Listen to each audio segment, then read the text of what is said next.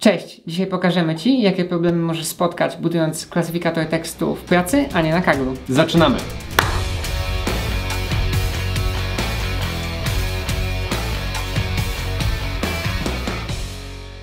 Cześć, z tej strony Wojtek Mikołajczyk. I Marcin Zabłocki. I dzisiaj zbudujemy sobie klasyfikator tekstu, który będzie klasyfikował proste posty w języku polskim pod kątem tego, czy są one obraźliwe, czy nie. I mimo tego, że pier nasza pierwotna wersja będzie działała w miarę ok, Spoiler alert. spoiler alert, to jeżeli nałożymy na to warstwę biznesową, czyli taką, którą spotkacie na co dzień w pracy, to się okaże, że taki pierwotnie dobrze wy wytrenowany klasyfikator może nie do końca spełniać takie wymagania. I pokażemy Wam, jak sobie można z tym radzić i jak dalej pracować nad takim projektem, żeby takie wymagania biznesowe były spełnione. Dobra, czyli zaczniemy od wyboru zbioru danych. Możemy sobie znaleźć go na stronie Clay Benchmark od Allegro, gdzie są różne zbiory danych do różnych zadań. Nasz się nazywa CBD, Cyberbullying Detection Task i możemy go sobie pobrać. Pobraliśmy i rozpakowaliśmy dataset w folderze naszego projektu. Możemy zobaczyć, że są tu dwa pliki, test features TSV i train TSV. To TSV to jest Tab Separated Values plik, czyli tak jak CSV, tylko nie koma, przecinek, tylko tabami. I tutaj możemy sobie podejrzeć kawałek takiego datasetu, że widzimy tutaj kawałek tekstu i target 0 albo 1, wskazujący czy jest to obraźliwy post czy nie. Tu jest jakaś jedynka, że e, no właśnie, jest to obraźliwy tekst. Tak, i specjalnie wybraliśmy ten dataset, bo to może być symulacja takiego projektu, który na przykład będzie wykrywał obraźliwe komentarze na waszej stronie i może chcielibyście zbudować taki system, który będzie je automatycznie na przykład usuwał. Mhm. I na tym przykładzie będziemy teraz budować resztę. Ok, to zaczynamy od zrobienia sobie środowiska wirtualnego i teraz zainstalujemy tutaj to, co będziemy potrzebować, czyli na pewno scikit-learn, pandas, e, plotly i mlflow. Ok, to zaczniemy sobie od wczytania datasetu, e, czyli tak, importujemy pandasa i wczytujemy dataset. A, CSV tylko musimy wskazać separator, że to będzie w tym przypadku tab i możemy sobie wypisać pierwsze 10 wierszy. I teraz lecimy i odpalamy nasz projekt. Ok i widzimy te fragmenty tekstów, które widzieliśmy w tym pliku. No i teraz, żeby wytrenować model podzielimy to sobie na zbiór treningowy, na zbiór testowy i będziemy na tym odpalać trenowanie. I importujemy sobie funkcję train test split do podziału na te zbiory danych i robimy tak, że x train, x test, y train, y test. Równa się train test split i tutaj podajemy ten nasz data frame kolumnę tutaj mamy sentence i target, czyli od sentence a jako, e, jako y, czyli jako tą naszą labelkę dajemy target. Test size możemy ustawić na 0,2, czyli 80% danych nam zostanie w zbiorze treningowych. I random state jakiś tam ustawiamy, żebyśmy mieli powtarzalność w tym splicie. I teraz sobie stworzymy model jako pipeline scikit-learnowy. Pipeline to jest jakby połączenie paru Um, możemy połączyć preprocessing jakiś i potem model w obiekt pipeline'owy i potem to wykorzystywać przy treningu modelu, przy predykcji później jest to wygodne połączenie i, i dobre taka praktyka. Możemy to zaimportować. I teraz tutaj przekazujemy listę. Najpierw przekażemy sobie tf-idf vectorizer, żeby przejść z tekstu na jakiś wektor. No i ten wektor ma reprezentować z, w jakiś sposób ten tekst. Tworzy pewnego rodzaju embedding. To temat szerzej rozwijamy i tłumaczymy w naszym innym filmiku, do którego zapraszamy, jeżeli to pojęcie brzmi dla Was obco. A tymczasem lecimy dalej, czyli mamy ten TF-IDF Vectorizer i teraz na tym robimy jakiś klasyfikator. My sobie weźmiemy random forest też z scikit-learna i jemu ustawimy tylko random state, czyli seeda, czyli że za każdym, jakby żeby mieć reprodukowalność tego pipeline'u. No i teraz trenujemy nasz model, podając xtrain, czyli te mm, cechy wejściowe. W tym przypadku to będzie po prostu ten tekst tych wpisów, a ytrain to label, czyli 0 albo 1, w zależności czy jest obraźliwy czy nie. I jak model się wytrenuje, to możemy sobie zrobić predykcję na zbiorze testowym, czyli też ten pipeline pred, pred predict, x test. I teraz możemy sobie wypisać um, classification report, czyli żeby zobaczyć jak dobrze sobie radzi lub nie ten model. OK. Y test, czyli te nasze labelki, Y pred, czyli to co model przewiduje. Dobra, i teraz odpalamy i zobaczymy, czy to w ogóle nam dobrze działa. Dobra, no to widzimy tutaj Classification Report i możemy sobie spojrzeć na metrykę Accuracy, czyli jak trafnie model ocenia. I widzimy, że to jest 93. No, no to super. Czyli co? Pora na CS-a, model zrobiony, wszystko śmiga, 93%. Można iść do osoby biznesowej i powiedzieć, mamy super model. Tak, deployujemy na prioda. No i cyk, dobra, i, i nara. No. no i dobra, czyli mamy ten model, który ma 93% accuracy, jest świetny, lecimy z nim na produkcję. Wdrażamy go, i chodzi sobie przez kilka dni teraz i filtruje nam te komentarze z tej strony internetowej. No i za dwa dni przychodzi nasz product manager i mówi Hej, hej, no mieliście taki świetny model, te metryki, które mieliście, pokazywaliście nam na slajdach są takie świetne, no ale jednak bardzo dużo tych negatywnych, obraźliwych komentarzy jednak zostaje na tej stronie. No to coś jest nie tak. Tu takie super świetne wyniki, a tych komentarzy odfiltrowanych jest bardzo mało, więc no coś jest nie tak. No, no i wtedy zaczyna się cała historia Właśnie. debugowania, dlaczego Dlaczego? to jest tak źle i co poszło nie tak. No i właśnie, trzeba wrócić znowu do tych naszych metryk. Tak jest. No i dobra, to możemy spojrzeć, to accuracy faktycznie jest 93 i to jest jakby zgoda, ale zobaczmy sobie tutaj na nasze metryki. 0, 1. 0 to jest nieobraźliwy, 1 to jest obraźliwy. Tu mamy jakieś precision, recall i zobaczcie, że tutaj te wartości są z zakresu od 0 do 1, a ta tutaj jest, y, recall jest niski. I żeby to w pełni zrozumieć, wytłumaczmy sobie jeszcze, czym jest precision i recall. To precision to jest taka metryka, którą wyliczamy poprzez. W liczniku mamy przykłady danych sklasyfikowane poprawnie jako obraźliwe i to dzielimy przez wszystkie przykłady danych, które model sklasyfikował jako obraźliwe. Czyli ona nam mówi, ta metryka, tak naprawdę jaki procent ze wszystkich wskazanych przez model jako, obra jako obraźliwe faktycznie obraźliwy jest. No i w naszych metrykach to jest 85, 85%. I co to znaczy? To znaczy, że w 85% przypadków, jak nasz model mówi, hej, ten komentarz jest obraźliwy, to to jest prawda. Mhm. W 85% przypadków.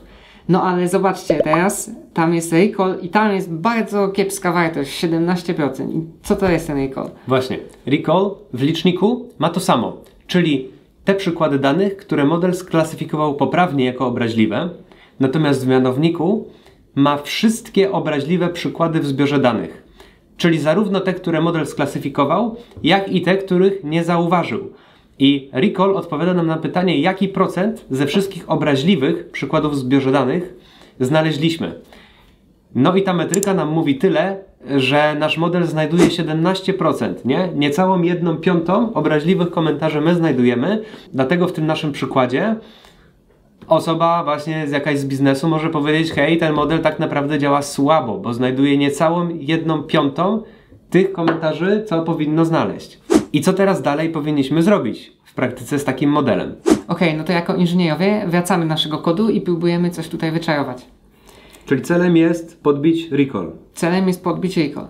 No i co możemy zrobić? Przede wszystkim trzeba zrozumieć jedną rzecz, że większość klasyfikatorów, kiedy wykonuje funkcję predict, no to tu dostajemy jedną z labelek, czyli 0 albo 1 w naszym przypadku, ale to, czy funkcja predict zwraca 0 albo 1, jest zdeterminowane czymś, co zwykle nazywa się threshold. Czyli pod spodem ta funkcja predict ma zaszytą jakąś informację, która mówi, że jeżeli prawdopodobieństwo y, klasy 1 dla danego tekstu wejściowego jest określonej wartości, czyli na przykład większe lub równe 0,5, to wtedy dajemy klasę z labelką 1, a jeżeli jest e, inaczej, no to dajemy klasę z labelką 0. I to jest dokładnie coś, co możemy tutaj wykorzystać, żeby trochę pomanipulować tym precision recall. Oczywiście manipulując e, tym pokrętłem będziemy przychylać szale w jedną stronę lub drugą i zobaczmy jak to, jak to może działać.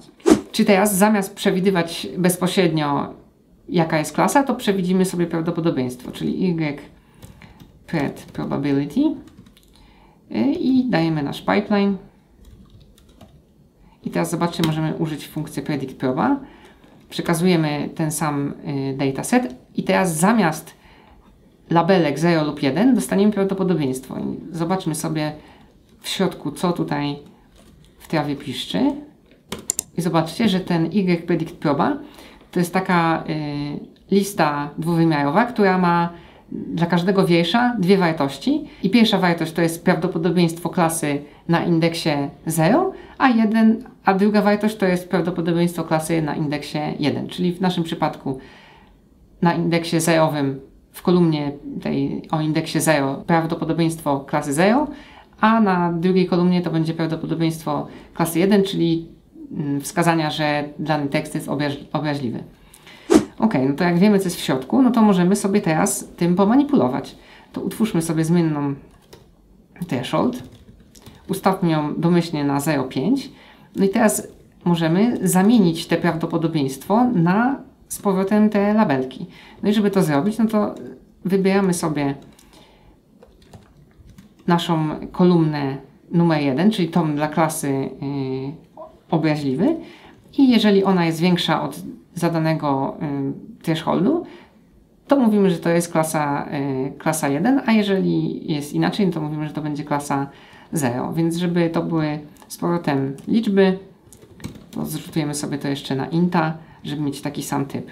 I teraz możemy wrócić sobie z powrotem, wywołać funkcję, która nam wypisze mm, metryki. Ok, więc odpalamy to i widzimy, że dla thresholdu 0,5 ten wynik jest taki sam jak poprzednio, czyli zgodnie z implementacją scikitową. No ale teraz, skoro mamy jakieś tutaj, y, jakieś takie pokrętło, no to możemy sobie na przykład to zmniejszyć. Teraz, jeżeli ustawię sobie to na 0,2 i odpalę jeszcze raz, to za chwilę zobaczymy, że te metryki są całkowicie inne. I teraz tak, przede wszystkim widzimy, accuracy się zmieniło, ale zobaczcie, że zmniejszając ten threshold, zwiększył się recall, super, no ale zmniejszył się precision. Czyli przesuwając ten próg decyzji, możemy sobie podbić to prawdopodobieństwo znalezienia tego obraźliwego komentarza kosztem tego, że częściej będziemy się jednak mylić. Więc ze strony biznesowej, no, może to być słabe, bo jednak mm, będziemy potencjalnie usuwać komentarze, które były ok, a nie powinniśmy ich usuwać. No to idziemy w drugą stronę. Zobaczymy, co się stanie, jak ustawimy ten threshold na 0,75. I teraz jak ustawimy ten threshold na 0,75, no to tak naprawdę zaoraliśmy ten klasyfikator całkowicie z punktu widzenia naszego PM-a numer 1, któremu zależało na wykrywaniu, na dobrym wykrywaniu naszych obraźliwych komentarzy, no to ten klasyfikator z tym dużym thresholdem jest beznadziejny, ale za to praktycznie zawsze jak już mówimy, że w sensie, jeżeli nasz klasyfikator powie, że ten post jest obraźliwy, no to mamy w przypadku naszego zbioru testowego całkowitą rację zawsze. No i teraz fajnie by było sobie może znaleźć, jak ten threshold ustalić, no bo możemy tu spędzić cały dzień i sobie iterować, moglibyśmy tutaj sobie wypisywać, odpalać, patrzeć, odpalać, patrzeć, no ale no, tak się tego nie robi w, we współczesnym świecie, to jest przeciwko wszystkim zasadom MLOps-owym, mhm. co możemy tu zrobić?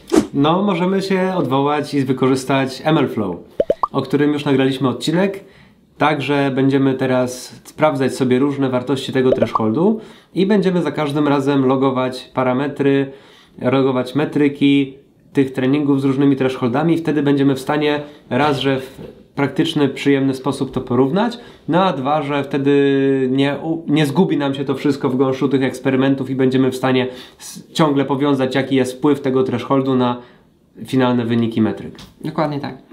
Dobra, czyli jak teraz będziemy sobie korzystać z MLflow, no to żeby logować parametry do MLflow, musimy włączyć serwer MLflow. I żeby to zrobić, otwieramy sobie nowy terminal, wchodzimy do naszego środowiska wirtualnego i odpalamy komendy MLflow server na hoście 127.0.0.1, czyli to jest nasz local host i na porcie 8080. Dobra, chodzi. Możemy wejść, żeby sprawdzić, czy faktycznie nam ten MLflow chodzi w tle. Ok, wchodzimy, widzimy, że chodzi. Na razie tutaj nie ma żadnych danych. Teraz trzeba w kodzie napisać, jak to zalogować w MLflow, co Wam pokaże Marcin. Jako, że znajdowanie tego progu, tego naszego thresholdu to jest idealny przykład eksperymentów MLflow, to utworzymy sobie taki eksperyment. Więc importujemy sobie MLflow, ustawiamy sobie zmienną środowiskową MLflow Tracking URI na port naszego serwera MLflow. Oczywiście, jeżeli ten MLflow jest gdzieś u Was zdeployowany, no to wiadomo, trzeba to ustawić zgodnie z Waszym środowiskiem. No i teraz ustawiamy eksperyment. Załóżmy, że to jest Text Classification Threshold. No i teraz, wykorzystując to, co już mieliśmy wcześniej, zbudujemy sobie wiele iteracji, wiele ranów w ramach tego jednego eksperymentu i później będziemy zaglądać do MLflow UI, żeby sobie je porównać. Więc teraz tak, wezmę sobie to. Potrzebuję jeszcze sobie NumPy'a, żeby wygenerować sobie zakres tych thresholdów, które będę chciał skanować.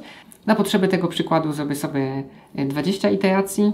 Używam sobie do tego linspace, czyli mówię mu, że ma mi utworzyć przestrzeń nową od 0 do 1 i ma między 0 a 1 być 20 wartości równo rozłożonych. Oczywiście może być tutaj ich więcej w zależności od tego, jak dokładnie chcecie przestrzeń tych thresholdów sobie przeskanować. Czyli jak dobrze liczę, tak naprawdę tutaj idziemy o 0,05 z krokiem, nie? Tak, mniej więcej tak. I teraz dla każdego thresholdu odpalamy sobie run w MLflow. Tutaj nie musimy podawać parametrów, on dla każdego runu wymyśli jakąś sympatyczną, losową nazwę. Tak, dokładnie. Oczywiście możecie je nazwać jak chcecie. Liczymy sobie metryki za pomocą Classification Report i bardzo przydatnym parametrem jest tutaj output dict, który zamiast tak jak wcześniej sobie wypisywaliśmy na konsolę te wartości, to tutaj możemy je zwrócić jako słownik i później się y, do tego słownika y, odwołać, żeby wyciągnąć nasz, naszą daną metrykę. Jako, że jesteśmy w ramach ranu MLflowowego, no to przede wszystkim chcemy zalogować threshold, który obecnie sprawdzamy. Więc robimy to za pomocą MLflow log param i mówimy, że to jest threshold. Podajemy tą wartość z obecną z pętli. Dzięki temu później, jak będziemy oglądać ten eksperyment, ten run w MLflow, to będziemy widzieć, dla jakiego thresholdu on był odpalony. Bardzo przydatna rzecz. No i pozostaje nam oczywiście wyciągnąć nasze metryki, czyli log metric tym razem, czyli wyciągamy nasz precision z raportu, czyli dla klasy 1 precision i to samo dla recall dla klasy 1 precision o, przepraszam. Recall. i dla klasy 1 recall i tyle. Odpalamy i zobaczymy jak to będzie wyglądało. Dobra.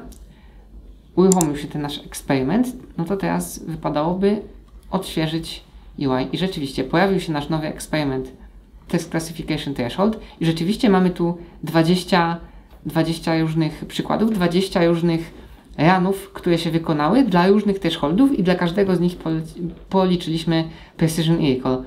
I teraz Wojtek pokaże Wam, jak się w tym odnaleźć i jak porównać sobie te wszystkie rany. Mhm. Dobra, czyli możemy wejść w pierwszy run i zobaczyć, że mamy tutaj zalogowany parametr. Pierwszy to jest wartość 0 i mamy zalogowane dwie metryki recall i precision.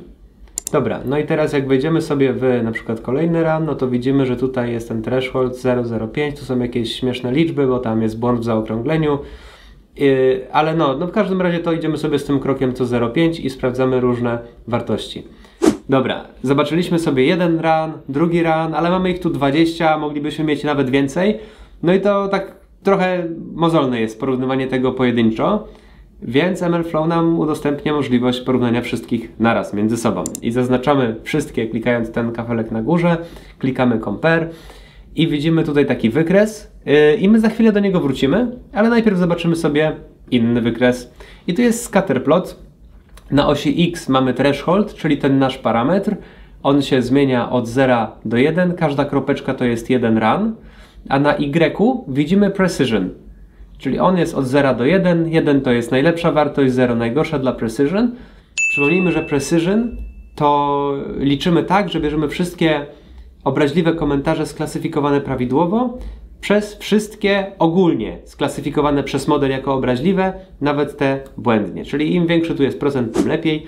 No i tu widzimy, że w zależności od tego progu to to rośnie, rośnie, rośnie, rośnie, rośnie aż do jedynki na progu 0,74 no a potem jest 0. I dlaczego? Bo przecież skoro próg jest największy, no to to powinna być największa No tak. pewność, Marcin. O, Tak. to, o co tu chodzi? Bardzo dobre pytanie. To jest kwestia akurat tego klasyfikatora, który użyliśmy. Dla każdego klasyfikatora to się będzie różnić. Jest taki pewien próg odcięcia, że klasyfikator nie daje prawdopodobieństw większych niż na przykład w naszym przypadku to niecałe 0,8.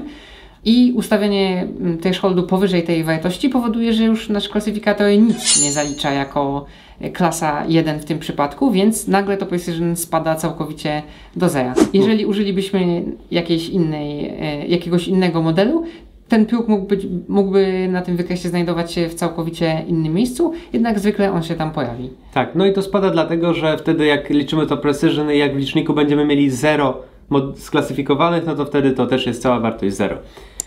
A teraz podejrzymy sobie recall na tym wykresie.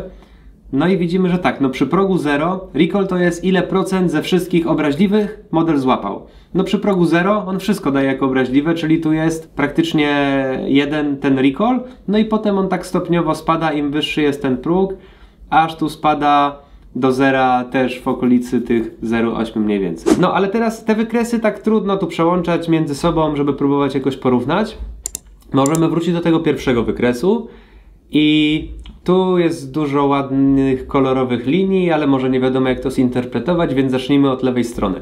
Możemy tutaj sobie wyświetlić parametry, czyli u nas to jest tylko i wyłącznie threshold, od których zależy ten nasz eksperyment i możemy wyświetlać metryki. Metryk mamy więcej, mamy recall i precision, zaznaczmy też oba. No i teraz każda taka linia pokazuje nam, że dla thresholdu na przykład 1 Czy mamy... dla konkretnego ranu, w którym threshold był Tak, tak, tak. ustawiony na 1, Tak, dokładnie tak. Mamy jakiś tam recall i jakiś tam precision. I to jest wszystko powiązane i to możemy sobie filtrować. No i teraz w naszym przypadku, jak przyszła osoba z biznesu i powiedziała, że za mało przypadków łapiemy, czyli de facto mamy za mały recall, to możemy wziąć sobie tak na oko, wziąć od tego recall 0,5 w górę i zaznaczyć i podświetlić tylko te rany.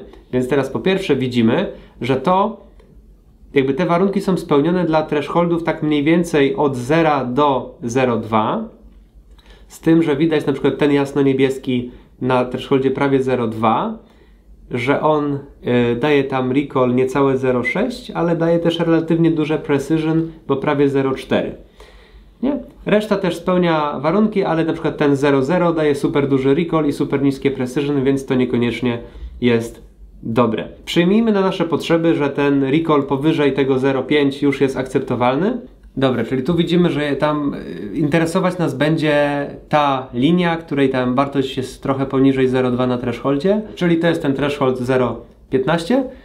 Czyli w takim razie możemy go ustawić w modelu i powinno to działać dobrze. I teraz mając taki, e, taki wykres, taki eksperyment, który nam pokazuje threshold i e, wszystkie metryki, możemy podjąć dyskusję z biznesem. I w takim przypadku, kiedy mm, biznes naciska na przykład, że musimy mieć bardzo dużą wykrywalność, no to możemy powiedzieć, że owszem, możemy tutaj ten threshold ustawić na takim poziomie, żeby ta wykrywalność tych obraźliwych postów była wysoka, ale mamy taką sytuację albo albo. No bo jeżeli tutaj y, zwiększymy sobie tą wykrywalność, no to będziemy częściej się mylić. Teraz pytanie, co jest lepsze. I to już jest poziom dyskusji, który rzeczywiście można podjąć, bo on ma bezpośrednie przełożenie też potencjalnie na czyjąś pracę.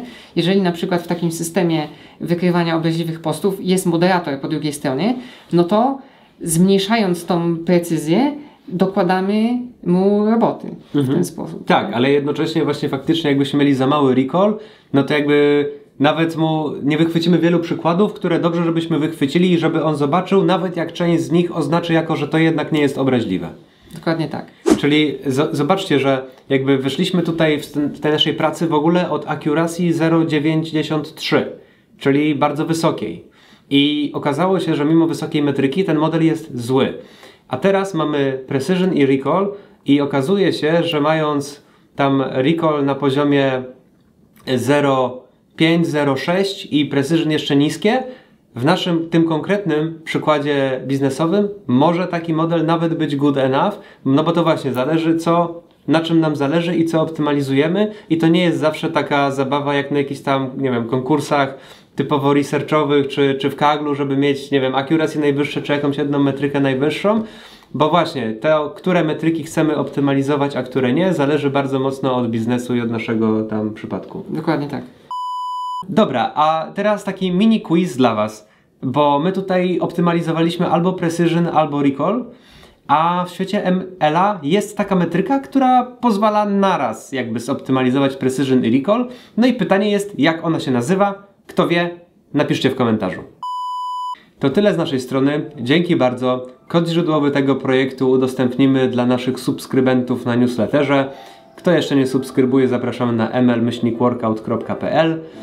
E, Mamy nadzieję, że udało nam się pokazać Wam trochę, jak wygląda taki proces pracy nad modelem w prawdziwym świecie, a nie tylko w takim oderwanym od rzeczywistości trochę researcher- researcherskiej pogoni za najwyższym accuracy scorem.